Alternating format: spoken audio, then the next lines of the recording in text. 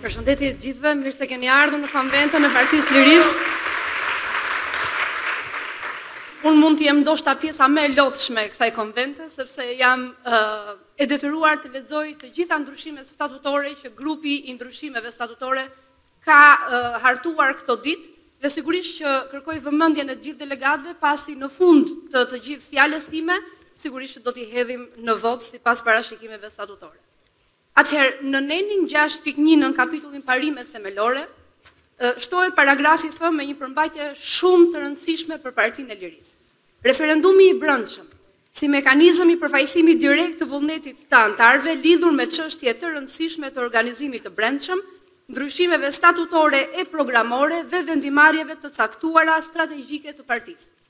Në kapitullin shtatë me titullin Anëtarësimi, shtohet neni i ri me përmbajtje si më poshtë, Kërkesa për anëtarësim mund t'i drejtohet edhe organizatës së Partisë Lirisë në një qendër votimi të ndryshme nga ajo ku kërkuesi ka vendbanimin e qëndrueshëm dhe ushtron të drejtën e zgjedhjes, në rastet kur kërkuesi banon përkohësisht aty dhe e jep kontributin aty. Kjo kërkesë shqyrtohet nga Kryesia e Partisë Lirisë në njësinë administrative që përfshin organizatën e qendrës së votimit ku drejtohet kërkesa dhe nëse plotëson kushtet e nenit shtatë pikë një dhe kjo kërkesë pranohet, anëtarësimi i njoftohet organizatës së qendrës së votimit ku kërkuesi ka vendbanimin e qëndrueshëm dhe ushtron të drejtën e zgjedhjes. Në nenin shtatë pikë tetë, ku përshkruhen të drejtat e anëtarëve të Partisë Lirisë, shtohen dy paragrafë të rinj, konkretisht G dhe H me këtë përmbajtje.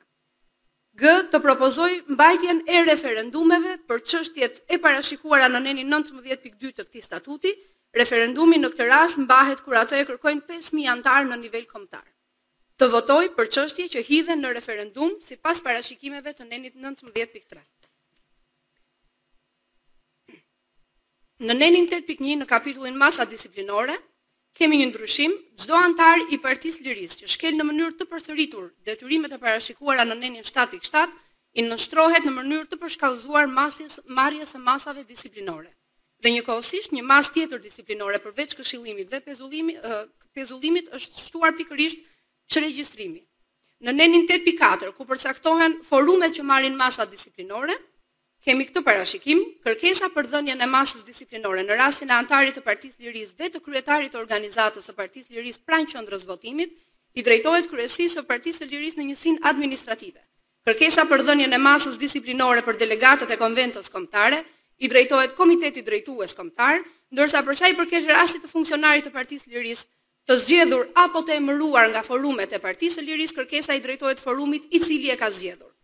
Në nenin nëntë pikë katër ku citohen strukturat e organizimit të brendshëm në nivel vendor kemi këtë ndryshim, Partia e Lirisë në nivel vendor ka këtë organizim, Organizata pranë qendrës së votimit, Kryesia e Partisë Lirisë në njësinë administrative ose ndryshe ish-komunat, Komiteti Drejtues i Partisë së Lirisë në Bashki, Kryesia e Partisë Lirisë në Bashki dhe Sekretari Politik i Qarkut. Në nenin nëntë pikë pesë ku citohen strukturat e organizimit të brendshëm në nivel qendror kemi hequr Departamentin e Organizimit. Në kapitullin e dhjetë në konkretisht në titullin Kryesia e Partisë së Lirisë në njësinë administrative, do t'i shtojmë pikërisht togfjalëshin që unë përmenda pak më parë ish-komunat. Dhe neni dhjetë pikë dhjetë ndryshon si më poshtë vijon, Kryesia e njësisë administrative përbëhet nga kryetarët e Partisë së Lirisë në organizatat e qendrave të votimit. Nenet dhjetë pikë njëmbëdhjetë, dhjetë katërmbëdhjetë dhe dhjetë pesëmbëdhjetë që i referohen kryesisë së Partisë së Lirisë në njësinë administrative ndryshohen respektivisht si më poshtë vijon. Dhjetë pikë njëmbëdhjetë, Kryetari i Partisë së Lirisë në njësinë administrative zgjidhet në mbledhjen e parë të kryesisë së Partisë Lirisë në njësinë administrative. Neni dhjetë pikë katërmbëdhjetë, Kryesia e njësisë administrative gjatë ushtrimit të aktivitetit politik Organizon dhe koordinon punën e organizatave të Partisë Lirisë pranë qendrës votimit, në territorin administrativ të njësisë administrative, administron regjistrin e anëtarësisë së Partisë Lirisë në nivel njësie administrative, mund të propozojë kandidaturat për deputetë, për organet e qeverisjes vendore apo për çdo organizatë tjetër kur kërkohet përfaqësimi politik i Partisë së Lirisë në territorin administrativ të saj, monitoron dhe administron procesin e mbledhjes së kuotizacioneve, koordinon punën e Partisë së Lirisë në të gjitha fushat politike, ekonomike, shoqërore dhe duke bashkëpunuar jo vetëm me organizatat e Partisë së Lirisë pranë qendrave të votimit, dhe anëtarët e Partisë Lirisë, por edhe me organizatat partnere të shoqërisë civile të çdo grupimi tjetër shoqëror përkrahës Partisë Lirisë apo individ në përputhje me parimet dhe normat e programit dhe statutit tonë. Miraton pranimet, këshillimet, pezullimet apo çregjistrimet nga Partia e Lirisë sipas parashikimeve të neneve tetë pikë tre dhe tetë pikë katër. Organizon dhe administron fushatat elektorale për zgjedhjet në parti, për në organet e qeverisjes vendore apo për deputetë në Kuvendin e Shqipërisë në zonën zgjedhore përkatëse në përputhje me kompetencat që i jepen nga statuti dhe vendimet e forumeve të Partisë së Lirisë. Raporton në mënyrë periodike në Kryesinë e Partisë së Lirisë në Bashki për aktivitetin e Partisë Lirisë në territorin administrativ të zonës zgjedhore përkatëse. Neni dhjetë pikë pesëmbëdhjetë, Partia e Lirisë në njësinë administrative ose ndryshe ish komuna drejtohet nga kryetari i Partisë Lirisë në njësinë administrative i cili zgjidhet nëpërmjet votimit fsheht nga anëtarët e kryesisë së Partisë Lirisë në njësinë administrative për një periudhë katër vjeçare. Nenet dhjetë shtatëmbëdhjetë, dhjetë tetëmbëdhjetë, dhjetë nëntëmbëdhjetë dhe dhjetë njëzet nën titullin Konventa e Partisë së Lirisë në Bashki shfuqizohen. Neni dhjetë pikë njëzet e një ku sanksionohen kompetencat dhe organizimi i Komitetit Drejtues në Bashki ndryshohet si më poshtë vijon, Komiteti Drejtues i Partisë së Lirisë në Bashki realizon drejtimin politik dhe organizativ të Partisë Lirisë në periudhën midis dy zgjedhjeve në Parti. Komiteti Drejtues i Partisë Lirisë në Bashki përbëhet nga kryetarët e Partisë Lirisë të njësive administrative, të zgjedhurit në organet e qeverisës vendore, kryetarja e Lëvizjes së Gruas për Integrim të bashkisë, kryetari i Forumit të të Rinjve në Bashki dhe kryetarët e organizatave të qendrave të votimit në territorin e asaj bashkie. Përgjigjet për zbatimin e vendimeve të Konventës Kombëtare, të Komitetit Drejtues Kombëtar si dhe të Kryesisë të Partisë së Lirisë, koordinon veprimtarinë e Partisë së Lirisë në të gjitha fushat, politike, ekonomike dhe shoqërore, në mbledhjen e parë pas konstituimit. Komiteti Drejtues në Bashki zgjedh Kryesinë, nënkryetarët dhe sekretarët e Partisë Lirisë së Bashkisë. Komiteti Drejtues si rregull duhet të mblidhet jo më pak se një herë në tre muaj, ai thirret me kërkesë të Kryesisë së Partisë Lirisë me kërkesë të Kryesisë së Partisë Lirisë në Bashki dhe nga një e treta e anëtarëve. Komiteti Drejtues në Bashki ka të drejtë të kooptojë në periudhën ndërmjet dy zgjedhjeve të brendshme deri në njëzet e pesë për qind të numrit të anëtarëve të tij, voton me po ose jo në mënyrë të fshehtë për kryetarin e Partisë së Lirisë në Bashki, kur gjatë afatit për paraqitjen e kandidaturave për kryetar të Partisë së Lirisë në Bashki, paraqitet vetëm një kandidaturë.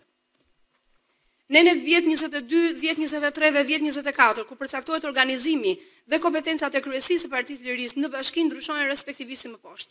Kryesia e Partisë Lirisë në Bashki përbëhet nga kryetarët e Partisë së Lirisë në njësitë administrative, që janë anëtarë të saj pa votim dhe anëtarët që propozohen të zgjidhen dhe zgjidhen me votim të fshehtë nga Komiteti Drejtues i Bashkisë. Numri i anëtarëve të Kryesisë së Bashkisë miratohet nga Kryesia e Partisë Lirisë në Qendër. Kryesia e Partisë së Lirisë në Bashki mblidhet të paktën një herë në muaj. Ajo thirret nga kryetari i Partisë së Lirisë në Bashki ose nga një e treta e anëtarëve të Kryesisë së Partisë së Lirisë në Bashki. Neni dhjetë njëzet e katër shfuqizohet paragrafi e. Neni dhjetë njëzet e pesë, ku sanksionohet roli i kryetarit të Partisë së Lirisë në Bashki ndryshohet si më poshtë. Ëm Kryetari i Partisë së Lirisë në Bashki si rregull zgjidhet nga anëtarësia e Bashkisë me votim të fshehtë me më shumë se një kandidat, sipas parimit një anëtar një votë, ose në mungesë të kandidaturave alternative zgjidhet me votim të fshehtë nga Komiteti Drejtues në Bashki për një periudhë katër vjeçare. Vendimi mbi mënyrën e votimit të kryetarit të Partisë së Lirisë në Bashki e merr kryesia e Partisë së Lirisë në Bashki pas miratimit të kandidaturës apo kandidaturave të paraqitura. Nenet dhjetë tridhjetë e një, dhjetë tridhjetë e dy, dhjetë tridhjetë e tre dhe tridhjetë e katër nën titullin Kryesia e PL e Partisë së Lirisë të Qarkut shfuqizohen. Pas nenit tridhjetë do të shtojmë një titull tjetër që është Sekretari Politik i Qarkut dhe një nen i ri me këtë përmbajtje. Sekretari politik i qarkut caktohet me vendim nga kryesia e Partisë së Lirisë. Sekretari politik i qarkut koordinon dhe monitoron veprimtarinë e strukturave dhe forumeve vendore, si dhe të kandidatëve për organet e qeverisjes vendore apo për deputetë në Kuvendin e Shqipërisë në periudhat zgjedhore. Në nenin njëmbëdhjetë pikë shtatë ku përcaktohen kompetencat e Konventës Kombëtare, shtohen dy paragraf, shtohet një paragraf, më falni me këtë përmbajtje, voton me po ose jo, në mënyrë të fshehtë kryetarin e Partisë së Lirisë, kur gjatë afatit për paraqitjen e kandidaturave për zgjedhjen e kryetarit të Partisë së Lirisë paraqitet vetëm një kandidaturë. Nenet njëmbëdhjetë dymbëdhjetë dhe njëmbëdhjetë katërmbëdhjetë, nën kapitullin ku përcaktohet organizimi dhe funksionet e Komitetit Drejtues Kombëtar, ndryshojnë si më poshtë respektivisht, Komiteti Drejtues Kombëtar ka të drejtë të kooptojë në periudhën ndërmjet dy konventave deri në njëzet e pesë për qind të anëtarëve të Komitetit Drejtues Kombëtar. Gjithashtu shtojmë edhe një para-, një paragraf tjetër ku themi se propozon me shumicë të anëtarëve mbajtjen e referendumeve, pra Komiteti Drejtues Kombëtar propozon me shumicën e anëtarëve të tij mbajtjen e referendumeve për çështjet e parashikuara në nenin 19.2 të këtij statuti dhe miraton me vendim procedurën për zhvillimin e referendumeve. Në nenin njëmbëdhjetë katërmbëdhjetë, pas fjalëve me vendim të kryesisë do të shtohen togfjalëshi ose nga kryetari i Partisë Lirisë. Në nenin njëmbëdhjetë njëzet, ku sanksionohet kryesia e Partisë Lirisë, paragrafët g, h dhe j do të ndryshojnë si më poshtë, miraton numrin e anëtarëve të komiteteve drejtuese në bashki, miraton listën e kandidatëve për kryetarë të partive të Partisë së Lirisë të bashkive, që do t'i nënshtrohen më pas procesit të votimit në strukturat përkatëse, si dhe përcakton sekretarin politik të qarkut.